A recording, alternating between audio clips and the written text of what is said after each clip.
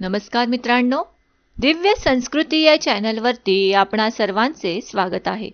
मित्रांनो गणपती बाप्पा मोर्या मंगलमूर्ती मोर्या. असा आवाज प्रत्येक गावागावात शहरा शहरात गल्ली गल्लीत घराघरात ऐकायला मिळेल. आपल्या लाडक्या बाप्पाचे स्वागत करण्यासाठी सर्वच जण उत्सुक आहेत. सर्वांच्या लाडक्या सुखकर्ता विघ्नहर्ता बाप्पाच्या स्वागतासाठी सर्वत्र लगबग सुरू झाली आहे. मित्रांनो श्री गणेश आगमन स्थापना व पूजन करताना काही गोष्टींकडे लक्ष देण्याची आवश्यकता आहे. गणेशाची मूर्ती कशी असावी? गणेशाची मूर्ती कोणत्या दिशेला ठेवावी? गणपतीला घरी आणताना कोणते नियम पाळावेत? गणपती घरी आणल्यावर प्रथम काय करावे? अशा अनेक प्रश्नांची उत्तरे या व्हिडिओमधून आम्ही देण्याचा प्रयत्न केला आहे. त्यामुळे हा व्हिडिओ एंडपर्यंत नक्की पहा. मित्रांनो श्री गणेशाची मूर्ती आणण्यासाठी घराबाहेर पडताना डोक्यावर टोपी घालून घराबाहेर पडावे. हा हिंदू संस्कृतीचा एक भाग आहे.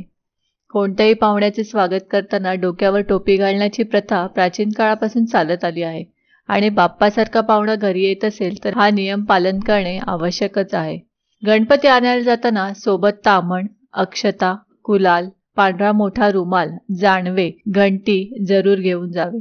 जाताना गणपतीचे आसन तयार करून जावे म्हणजे आल्यावर धावपळ होत नाही. दुकानातून गणपती घरी आणताना त्या जागेवर अक्षता हळद कुंकू वाहून गणपती घरी आणावा. कारण अक्षता ह्या अखंड असतात आणि त्या भंग पावत नाहीत. गणपतीला जाणवे घालावे रुमालाने तोंड झाकावे. गणेश मूर्ती कपड्याने झाकून घरी आणण्याची प्रथा आहे. मूर्ती अत्यंत आकर्षक आणि सुंदर असेल तर लोकांची वाईट दृष्टी त्यावर पडू शकते. मनुष्य भावनांचा प्रभाव जड वस्तूंवरही पडतोच. आपल्या मूर्तीवर असा कोणताही नकारात्मक प्रभाव पडू नये हा त्यामागचा उद्देश असतो. गणपतीचे तोंड समोर करून हातात घेऊन यावे. येताना एकाने घंटी वाजवावी आणि गणपती बाप्पा मोर्याचा गजर करावा. गणपती धरणाऱ्याने शक्यतो पायात चप्पल घालू नये. गणपती घरी आणल्यानंतर घराच्या दाराबाहेर गणपतीला तांदूळ व पाणी यांनी ओवाळून ते बाहेर टाकून द्यावे.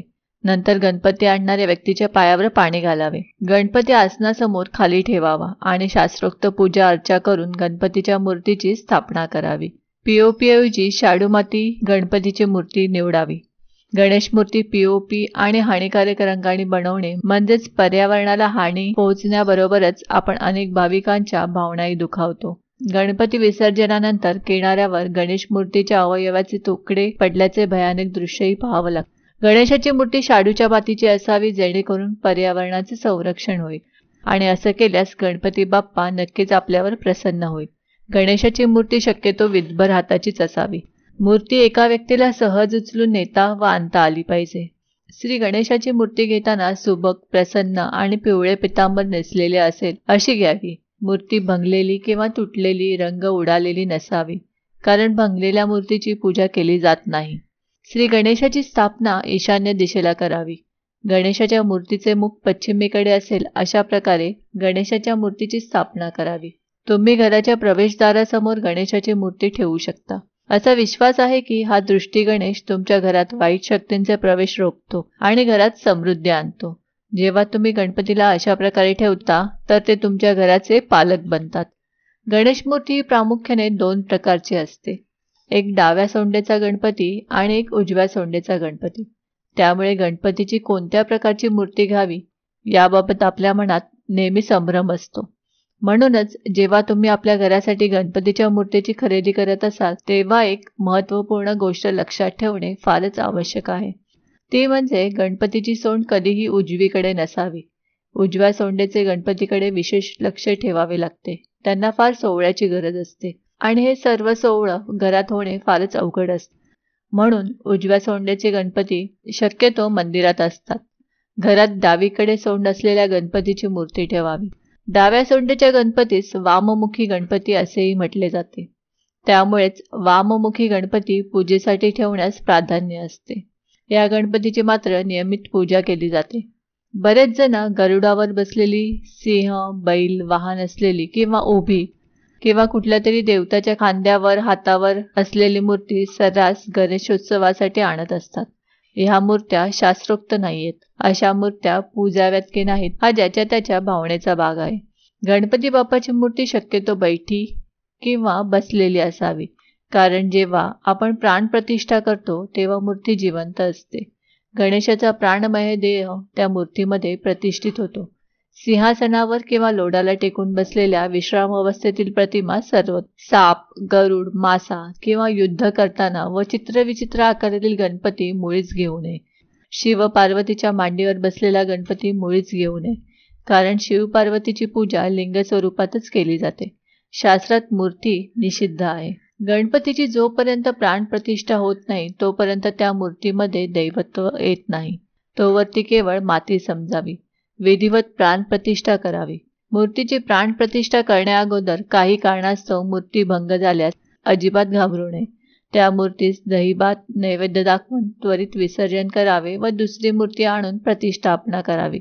मनात कोणतेही भय व शंका आणू नये. सर्वात महत्वाची बाब म्हणजे गणपतीच्या मूर्तीसमोर कुठल्या वस्तू न ठेवायला पाहिजे. जसे गणपतीच्या मूर्तीजवळ चामड्याने बनवलेल्या वस्तू ठेवू नये. कारण चामडं जनावरांपासून बनलेले असते. म्हणून चामड्यांपासून बनवलेल्या वस्तू जसे जांभळ्याचे बेल्ट जोडे किंवा बॅग मूर्तींपासून दूर ठेवावे. कुटुंबात किंवा नात्यात कोणत्याही व्यक्तीचा अकस्मात मृत्यू झाल्यास सुटकात घरातील व्यक्तीऐवजी शेजारी मित्रमंडळी यांच्याकडून पूजा करून नैवेद्य दाखवून घ्यावा. गणपती विसर्जनाची गायी करू नये. गणपती प्राणप्रतिष्ठा झाल्यावर घरात वादविवाद कलह होणार नाहीत याची काळजी घ्यावी. नॉनव्हेज करू किंवा खाऊ नये. गणपतीला साधा भाजी भाकरीचा नैवेद्य रोज दाखवला तरी चालतो. दही साखर भात हा सर्वोत्तम नैवेद्य आहे. गणपतीचे विसर्जन करताना टाळ्यांच्या गजरात गणपतीचे स्मरण करीत पुढच्या वर्षी लवकर या असे म्हणत गणपती बाप्पाला निरोप द्यावा.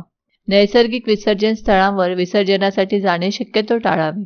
गणेश मूर्ती शाडूची किंवा पर्यावरणपूरक असल्यास त्याचे विसर्जन शक्यतो घरच्या घरी करावे. गणेश मूर्तीचे विसर्जन घरच्या घरी करणे शक्य नसल्यास जवळच्या कृत्रिम विसर्जन स्थळी मूर्तीचे विसर्जन करावे.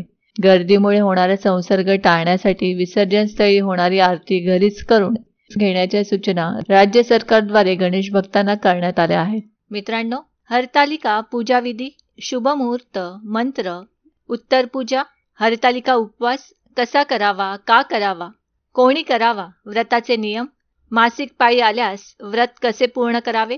गरोदर महिलांनी हे व्रत करावे का? या विषयासंदर्भात काही व्हिडिओ याआधी आम्ही बनवले आहेत. ते जर व्हिडिओ आपण बघितले नसतील तर ते व्हिडिओ देखील आवर्जून बघा. त्या व्हिडिओची लिंक डिस्क्रिप्शन बॉक्समध्ये दिलेली आहे. मित्रांनो आम्ही अपेक्षा करतो की आम्ही सांगितलेल्या माहितीचा तुम्हाला सर्वतोपरी लाभ होईल. माहिती आवडली असल्यास ही माहिती तुम्ही मित्रपरिवाराबरोबर शेअर करा. आणि अजूनही जर तुम्ही दिव्य संस्कृती या चॅनलला सबस्क्राईब केलं नसेल तर आमचे नवनवीन व्हिडिओ पाहण्यासाठी चॅनलला आजच सबस्क्राईब करा. धन्यवाद.